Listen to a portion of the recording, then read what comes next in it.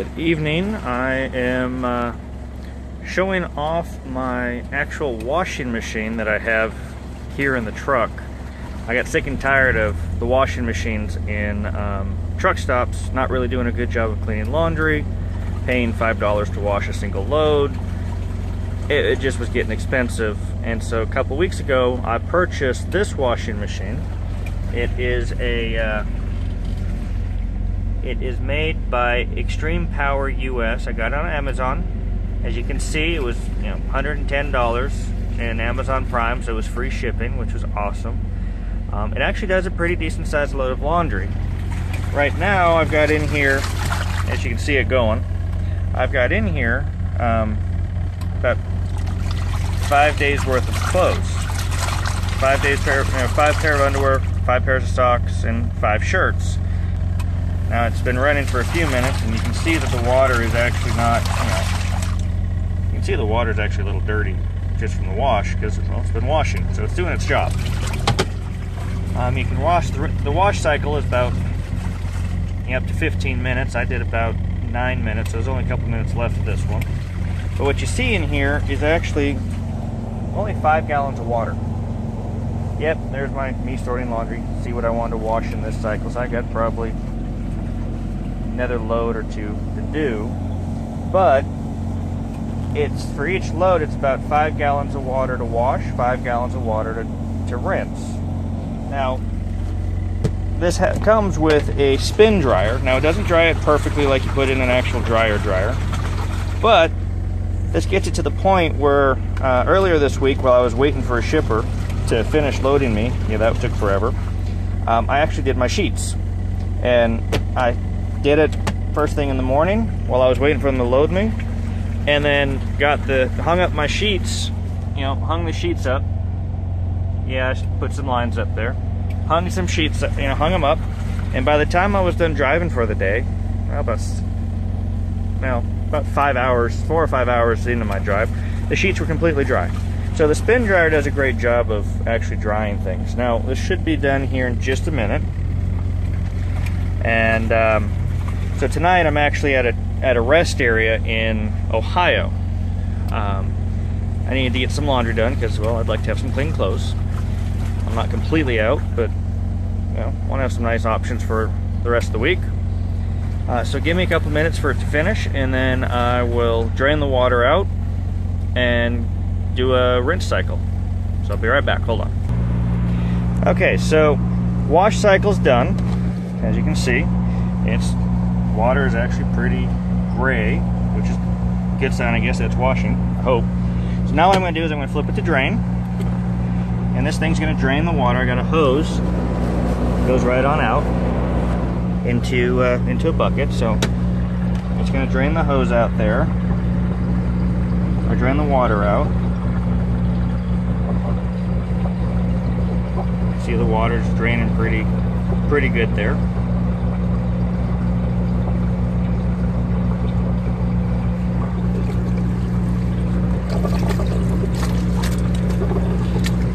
Some of the some of the clothes around. I'm just in the passenger seat of my truck right now, so I'm making this pretty easy. I mean, it's it's not going to sit here permanently, but you know, I'm, I'm, able to do this while I'm in the truck. You know, you know, I'm able to do this pretty quickly.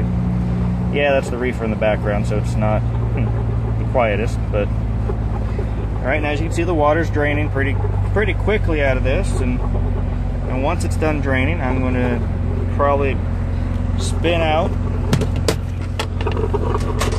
Get this here. Put a couple items in here to spin out so you can see how the spinner works. So this is just washing, so I'm going to put a few shirts in here, some underwear. You want to make sure you balance the spinner. And you can see the spinner holds a decent amount of decent amount of laundry. Get some more underwear in there just because. So, and you can see we've drained the water out completely, so I'm going to turn the drain drains function off. I mean, you can you can see how sopping wet that stuff is still. All right, so put the safety cover back. Close this. Turn the spin cycle on. And you can see it actually is pretty good for a spin cycle. Now you can't see the water coming out, but in just a couple minutes I'll show you what the water, how dry the stuff is coming out of the spin cycle. So give me just a second. Okay, so I've just done a couple minutes and as you can see, like the sock right now, which was dripping wet before, is nothing. It's dry. I mean, it's it's damp, and it's pretty easy. So I mean, rest of the shirts and stuff are pretty pretty dry too. So I got one more thing to run through the spin cycle, and I'll do a rinse cycle here in just a second. So hold on. So really, all I'm doing is just really all I'm doing is just spinning out the excess soapy water so that way when I put the rinse water in I don't have excess soapy stuff dealing with it so I only run it just for a real quick minute not even that long you can see the spin cycle has up to five minutes you can set on it. I've yet to use that and I did sheets just before. Um, so this is pretty good. So I'm going to pause this and get this stuff out of here and put it back. And you see I put the already stuff out in there. Now I'm just going to fill it full of water here in just a second. Okay so I just poured the water in. You can see water's in there, clean water, and I'm gonna actually add just a little bit of fabric softener and well, still trial and error to figure out how much of what to put in there. So I'm just gonna put a little bit in. I don't wanna put too much. But it's better to put it in before you put the clothes in. All right, that seems like a pretty decent amount of fabric softener, I guess. Oops, dripping, hold on always good to have paper towel or something to wipe up in case you spill a little bit. So I'm just going to turn this on. The amount of force it has. To turn it on to, to, to spin the, uh, uh, to mix up the fabric softener in there. So turn it back off now that I think that's mixed. I'm going to throw my laundry in here. I'll be right back. So right now, I'm finishing up the rinse. Still got probably a good, well, timer set for about nine minutes. And as you can see, we're rinsing the water and well, I'm getting splash. I'm going to close the lid again. But you can see it does a good job of, of agitating the water, or agitating the clothes. And then when it's done, I'll go back in, put it here into the spinner, and spin dry everything, and then I'll hang it up um, here in the truck.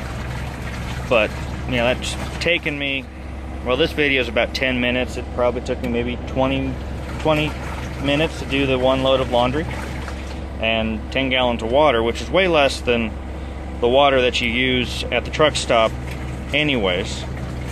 Um, so, you know, overall, I'm, I'm pretty impressed with this. Now, you guys may be asking me, where do I get the water from? Well, a lot of, you know, my, my five gallon buckets here, there's one and, and there's the other one. Um, the five gallon buckets I fill up using, um, like there was a truck stop I was at yesterday that had an RV, you know, an RV dump site and a water hookup site so you can, so RVs could fill up water. Other places are truck stops. Uh, if you look at the fuel islands, they actually have, a lot of them have water faucets, water spigots out there, and you can just fill up, you know, just fill up the buckets there um, when I know I need to do laundry. I don't plan on keeping 10 gallons of water on the truck, you know, these buckets filled all the time. But when I know I got to do laundry coming up, I'll get them filled, and then when I get a chance, do some laundry, do a load of laundry. So, um, so I'm going to pause this for another minute, and then as soon as it's done rinsing, I'm going to go put everything back into the spinner, and then we'll hang stuff up and then we'll be done. Now, I will say it does help to have a towel or paper towel because inevitably you're going to drip some water. And yeah, make sure your spot that you have working is going to be pretty clear. You can see a few drops, nothing major, but you know, you just want to make sure that you can wipe it up and don't have anything that's going to get too badly damaged if it gets wet. So this is almost done rinsing. So give it a couple more minutes and then um, I'll come back and, and show you the spin cycle.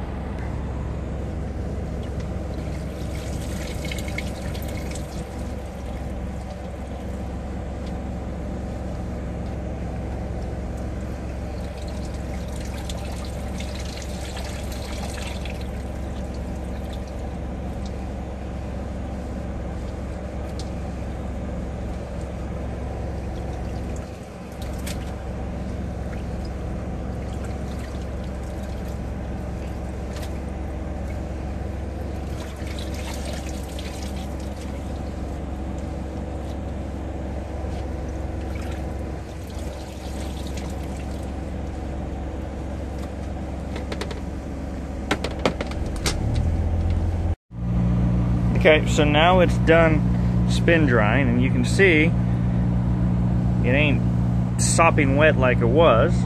And then all I'm going to do is just hang it up and let it air dry overnight or through tomorrow. I mean, I don't need the laundry tonight, tomorrow morning, but I'll let it air dry and then hang it up, put it all away uh, tomorrow afternoon or tomorrow evening when I'm when I park again for the night.